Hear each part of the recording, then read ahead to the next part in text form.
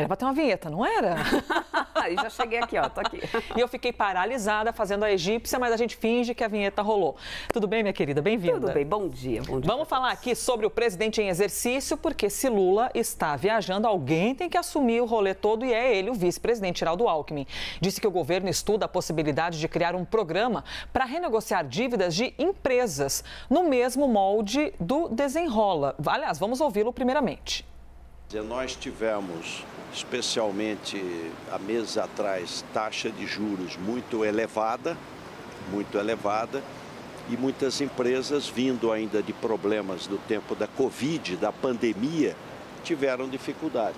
Então há necessidade, sim, de se ter uma discussão, uh, da mesma forma que se buscou um desenrola para as pessoas, ter um desenrola para as empresas.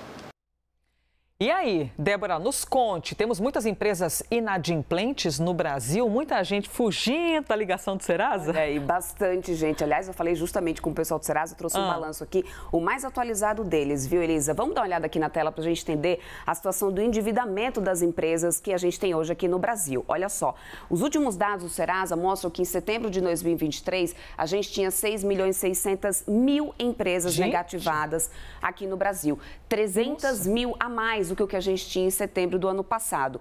As dívidas negativadas são mais de 47 mil dívidas, 47 milhões de dívidas gente. negativadas. Isso dá, viu, em, em dinheiro, que é o que interessa, o equivalente a 122 bilhões de reais de dívidas é o que a gente tem hoje em CPFs que, desculpa, em CNPJs que estão aí no vermelho. E o que, que acontece? A dívida média por CNPJ, ah, cada empresa tem quanto aí de dívida? Uma média de 18 mil reais. Aí no ano passado, essa média estava em 16 mil, ou seja, a gente vê que proporcionalmente de um ano para o outro, o volume da dívida das empresas, dessa média da dívida, está aumentando. E aí, é claro, conversei com o pessoal da FEComércio, com o Fábio Pini, inclusive, ele estava me dizendo assim: é muito benéfico que a gente possa ter um programa que também viabilize, né, traga novamente a empresa saúde econômica para uma empresa. Porém, é preciso que a gente tenha critérios, inclusive, nesse programa, porque a gente precisa entender quais são as empresas que realmente vão ter condições de continuar com essa saúde financeira, uhum. gerando mais empregos lá na frente. Não adianta a gente ir ali salvar empresas que elas já estão tão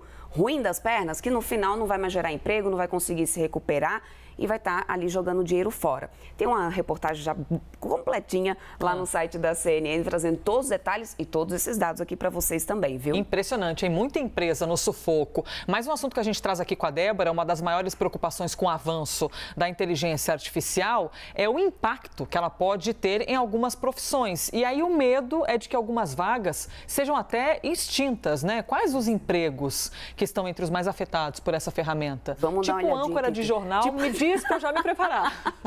Na verdade, todas aquelas, todas aquelas funções né, que exigem cálculos, que precisam, têm é, uma exigência de mais precisão, essas estão hum. né, aptas a permanecerem por 10 anos, Ufa. pelo menos, né? Vamos dar uma olhada primeiro nas que são mais afetadas para poder a gente entender aí nessa listinha quem que está mais né, a, a, com, entrando no risco aí da inteligência artificial. Função de caixas, até porque hoje a gente já vê, inclusive, né? Você já vai lá e você mesmo se serve, autoatendimento, né? contabilidade e auditoria, telemarketing, está bem comprometido isso aí, faturamento, custos e cobradores, porque essas são, essas são funções que não exigem tanta precisão para ser executado, não precisa de tanta análise criteriosa também para ser executado. Em contrapartida, as que estão menos em risco com a inteligência artificial, hum. é o que a gente vê agora aqui na próxima tela. A gente tem aí chefes executivos, engenheiros civis, porque fazer cálculo não é fácil, a inteligência artificial ela não consegue ainda ser tão precisa assim. Técnicos de engenharia eh, de engenheiro elétrico, também políticas de saúde pública e advogados, porque os advogados precisam ter muitos argumentos. A inteligência artificial não consegue trazer isso ainda. Por isso, essas são as profissões que ainda estarão garantidas aí pelos próximos 10 anos. Obrigada, hein, Débora? Torcendo que âncora de telejornal também esteja assegurado. Obrigada, minha querida. Então,